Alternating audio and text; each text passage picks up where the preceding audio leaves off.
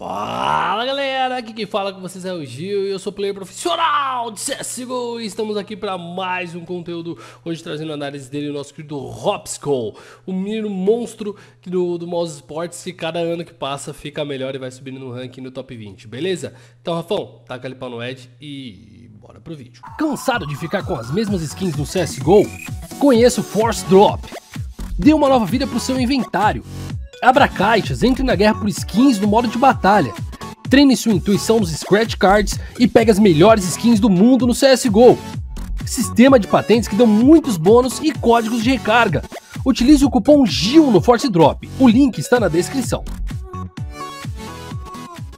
Bom, rapaziada, só mandando aquele grande salve lá pro pessoal do PicPay, nossos novos assinantes ainda. Eu não consegui pegar, teve um probleminha com o PicPay Assinaturas. A gente teve um, um problema globalizado ali, no caso, no, no, no, site. A gente não conseguiu pegar os novos, mas agradecendo todo mundo que chega somando. A gente recebe no e-mail lá de toda forma. Brigadão, salve vem no próximo vídeo, demorou? E bom, se você quiser acionar o Juseirinha, tem aulas com o Juseira, sorteio de skin, sorteio de análise, o link tá no comentário fixado. Bora que bora, meu clã.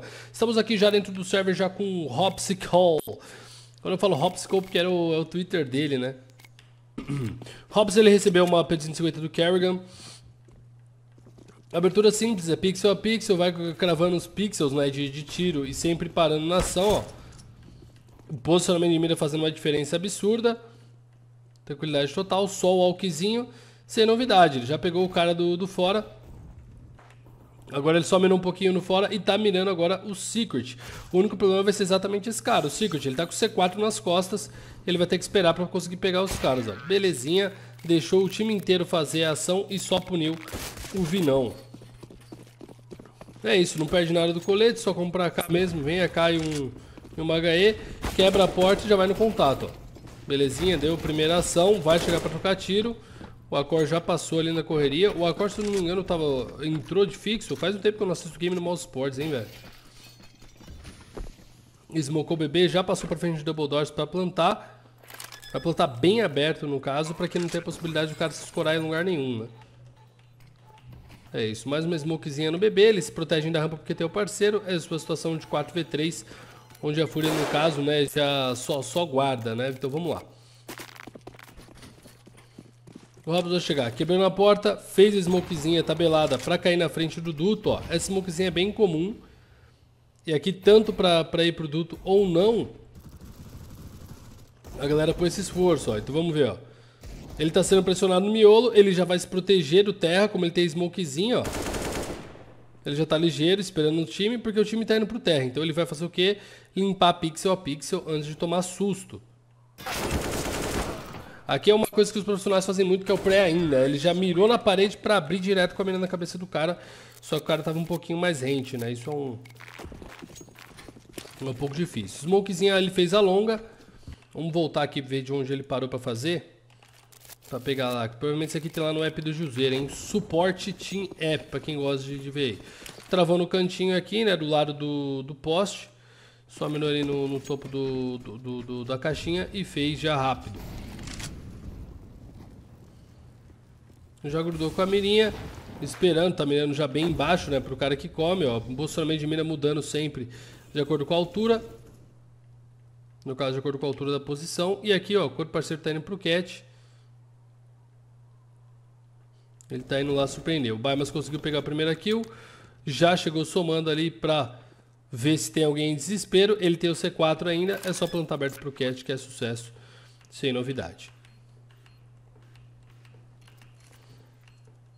Aqui tá tranquilão, só vai descer duto mesmo, o cara vai só guardar a arma. Próximo round. Dispensou uma flash para THE, é importante isso, né? Joga-se muito com, com Double aí no caso. Ele fez a smokezinha tabelada de novo para passar pro, pra frente do duto, ó. Ele já sabe que tem um carinha aqui de AWP. Ele necessariamente viu o art no caso, então foi uma kill teoricamente fácil. E esse, esse X1 que ele tira com o cara da porta talvez não fosse tão necessário, né? Essa é uma linha, mas ainda assim útil de toda forma ele tentar dar dano e já tirar a ação. No momento que ele tira a primeira kill, ele não precisa acelerar, apesar de entrar no prefire, né? Ele, ele não vem com flash, deve ser uma jogada rápida. Ele só vem com HE, Smoke e Molotov. Onde vai ser Molotov? Já entrou dominando a casinha, já sacou a ação Vai ver o cara. Isso aqui é uma parada interessante, clã. Ele desafiou ba a batida do, do Cacerato. Como que ele faz isso? No momento que ele vê a flash, em vez dele virar pra flash, ele adianta ela e já dá o prefire. Então ele sabe que o Yuri tá curto, ele escutou. E ele tá pronto pra punir caso ele queira tentar de novo. Essa é uma situação muito forte, velho. Olha lá, já atirou. O Vini já foi incomodado. Conseguiu a ação o que ele faz no hold miolo é, ele, ele dá o primeiro contato desafiando a batida, depois ele volta miolo já sabendo que o miolo ia responder, o rampa ia responder, né, porque os caras têm o controle do fora, e depois ele, pra responder o rampa, ele se esconde do cara da casinha, sabendo que o cara da casinha podia estar tá curto. Então ele escolhe os três combates que ele vai jogar, velho. Isso aqui é uma inteligência absurda. E velocidade de pensamento rápido também, né, tomada de decisão muito, muito acima da média. Não à toa, né, o sétimo jogador aí no, no top 20 mundial. De novo a smokezinha na frente do bombe. Vai passar rápido, ele vai passar pra direitinha. O intuito dele é esse. Queimou. Os caras acham que souberam disso. Ele vai continuar quietinho, tá esperando o cacerato ali. Dá mole e o Yuri tava ligeiro, no caso, mirando o pezinho.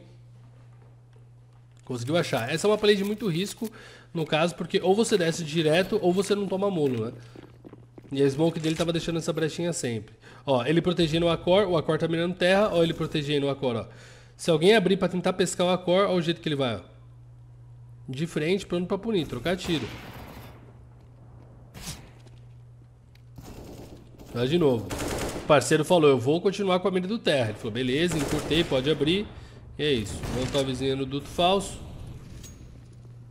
É isso. Para evitar surpresa, ele vai subir no, no telhado, é um 4x1. Evitar perder né, armas ou, ou qualquer coisa do tipo. Perfeição do Baimas aí também no cover. Ele foi só usando o caminho mais rápido, deixou um parceiro por, por baixo para ter essa segurança. Gaezinha, smokezinho em cima da porta. E já fechou dessa vez. Aqui ele já espera que os caras vão realmente começar a counterar ele, né? Não tem sentido não counterarem. Esse é um processo bem legalzinho. Como ele já tomou um HS, ele vai ficar bem quietinho aqui no caso, só esperando pra punir, ó. Olha o jeito que ele fica pra punir. Ele pega uns pixels bem cuzeta. Hum.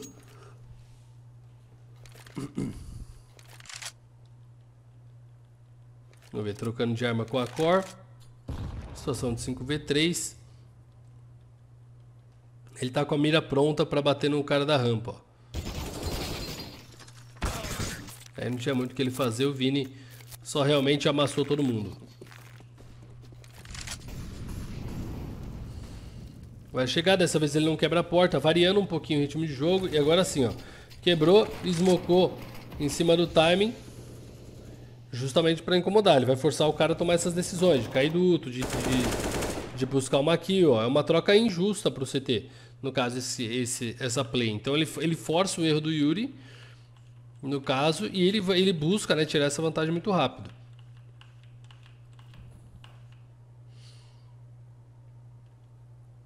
Evitando tomar o cat sempre abrindo pela esquerda ou pela direita bem rente, no caso. Olha, ele viu, já sabe onde está o outro e agora deve ter uma ideia do, do cara do cat. E é isso, agora ajudou o parceiro a jogar o X1, por mais que, que esteja miado, o Vini também tá. Aí é só uma questão de realmente acertar o lado e tal tudo mais. A Fúria acabou acertando nesse ponto, então mérito do Vini. Mas ele jogou muito bem, velho. Ali talvez um full control tivesse maior utilidade, mas de novo, a gente só, como a gente fala com raio-x fica mais fácil. Essa passagem do duto sem fazer barulho é imprescindível pro hold dar certo, ó. Porque é o jeito que os caras param lá. Olha, olha o minimapa, observa o minimapa. Ele simplesmente para e agora ele matou o Art. Ele acabou de quebrar o backup mais rápido do, do A, né? Então aqui, além de não ter a WP, ele acabou de quebrar os caras no meio. Então essa é uma situação bem delicada e ele pode simplesmente lidar com isso de uma forma inteligente, só garantindo o secret. Olha lá, garantiu o secret, os parceiros passaram, ele falou, pode vir, pode vir tranquilo, tem sucesso. Abriu, deu na cara. E aqui não tem ideia, os outros dois não tem que guardar, velho, faz sentido. Cara, de novo, a passagem dele no, no, no duto ali, pra, pra limpar o secret, é uma passagem muito é, limpa, porque ele conseguiu grudar na escada e descer sem fazer barulho no duto, né? Então os caras eles vão limpar meio que com uma pulga atrás da orelha, né? Faz smokezinha no terra, flashzinha terra. Viu que tem uma WP no terra e agora será, ó. Molotovzinha atrás da smoke pro cara não ganhar espaço. E olha lá o Kerrigan como vai, ó. Garantindo espaço, ele sabe que tem mais alguém em cima da, da casinha. E é poucas ideias. Tomou a molo, o Yuri já ouviu. Ele ia repensar, vai esperar os tiros passarem pra poder passar diretão. Devolve o tiro na smoke. É assim normalmente que a galera pega, pega aqui na smoke, né? Essa é uma boa. Vamos ver. Smokezinha no caso no no BB para eles progredirem, ele só vai garantir na mira mesmo, dando cover. Ele tem que chegar junto do cover porque faz mais sentido para eles esse cover do que necessariamente trocar muito tiro com, com Breaking Bad que tá smocado, coisa do tipo. Então ele smoca o BB e deixa dois caras pro bomba e eles dão um cover de cima, ele e o outro WP, né? Vamos ver, já passou na rampa, já tá ligado. Esse primeiro jogo da rampa é importantíssimo, velho. Isso aqui mostra muita coisa, né? Dá uma coordenada muito forte. Ele tá ligeiro, provavelmente ele tá ligeiro que os caras estão baitando. Por quê? Porque quando o cara dá muito a cara assim, é meio claro que é um bait, tá ligado? Isso é meio difícil, ó. Belezinha, só controlou o spray, deixou subir um pouquinho e controlar no meio do caminho. Então, afinal ele tá mirando no pé do cara.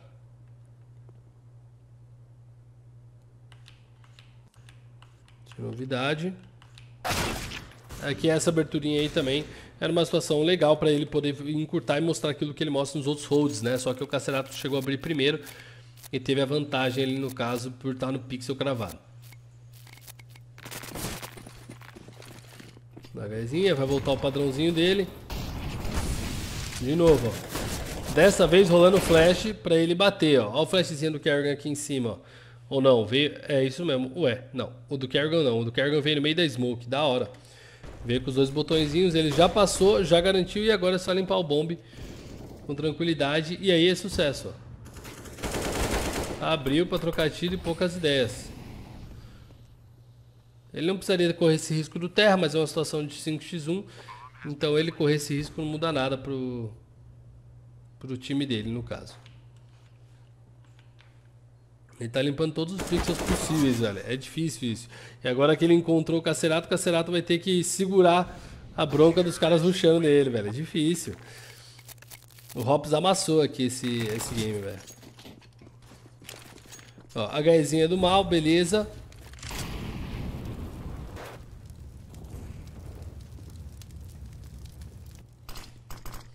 Com a smokezinha, ó, olha ele passando da smoke. Essa passada... Opa, acho que minha câmera morreu no meio do caminho.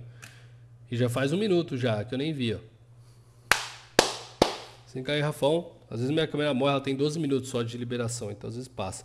Ele passando nessa smoke aqui é muito foda, porque ele tira um, um, um, espaço do cara muito rápido, né? E tipo, por mais que ele corra o risco de tomar um dano, olha o espaço que ele já conquista, ó.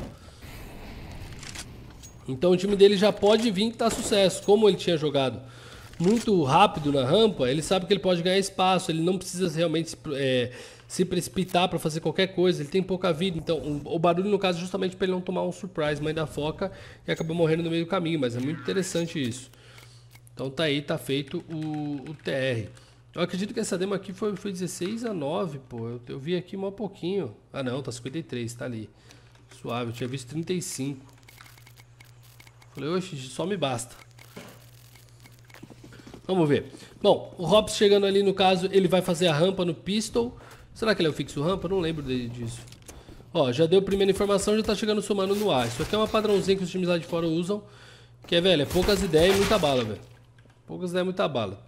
Sem fofoquinha, já chega junto. Não fica muito de miguezinho, não. Pau no gato e já era. Forçadinho com, com, com o Eagle e Smoke. Vai smocar a boca. Belezinha, já caiu pro Secret, top. Top demais, já vai cair diretão pro, pro secreto e limpar, ó. Vai limpar o duto, falar, mano, duto não tem. Fique tranquilo, se, se podia cair duto, não caiu. Ela abriu, não tem nada. Acesso total, não tem nada no duto, tá safe. Fiquem tranquilos, guys. Já tô embaixo, embaixo é meu. Isso aqui é importante porque eles abrem mão do, do rampa, no, no caso, correndo um risco. É um forçadinho de. Normalmente nos forçados você mais corre risco porque é o que mais compensa. E ele já vai, ó, vai juntar no fora para bater. Ele sabe do cara no, no galpão e agora vai. Belezinha. Conseguiu se juntar. Aqui no caso vale mais a pena guardar. Eles vão ter mais um forçadinho. Guarda o colete, a Eagle e o, e o MP. Eles dropam as pistols, né? Ele e o Frozen. E os caras têm a condição de fazer um novo armado. Belezinha. Dropou a Eagle lá no caso. Smokezinha no B. Até legal aí. Eu parei com minha câmera de novo. Sim, garrafão. Não consigo entender porque minha câmera tá fazendo isso, mas tudo bem. Então aqui de novo, ó, ele já vem no contatinho da rampa, ele tem poucas, né, no, poucas bombas, então ele gasta a smoke dele para encurtar. No caso, a smoke vai dando fade. Ele só tá esperando que ninguém faça o que ele fez com o Vini, né, que é encurtar aleatoriamente. Né, chegou, encurtou e já era. Aqui ele deve bater de frente por conta do Kerrigan em si. Ó, vem a batida. Vai rolar flash, ele dá o primeiro contato e o Kerrigan vai ficar baitando ele. No caso, um setupzinho de bait muito forte para Antieco. Ajuda bastante essa, esse contatinho. Lá vem ele de AWP, Double Alp, ele e o Acor, velho. Interessante. Smokoi vai ficar de trás, beleza. Tá com a mira bem baixa, esperando que os caras abram agachados, né? Suave. Não veio nada rápido, então beleza. Pegar de trás o rodeio é suave. Essa posição aqui é muito forte, eu gosto bastante. Você garantiu essa posição de trás do rodeio, ela é muito, é muito segura para um AWP, para um AUG e tudo mais. É quase que garantia de kill, ó. O cara passou para direita e lá, ele só usa o scope 1. E agora, ó, ele viu o cara passando, eu acho que ele viu. Lá ele viu, a Core garantiu ele. E agora ele simplesmente vai rodar B. E é sucesso total, sem novidade. Jogando 3x3 de forma bem honesta. A WP dele fazendo bastante efeito, né? Normalmente esse é o único espaço para uma segunda WP que a gente tem no, na NUC mesmo.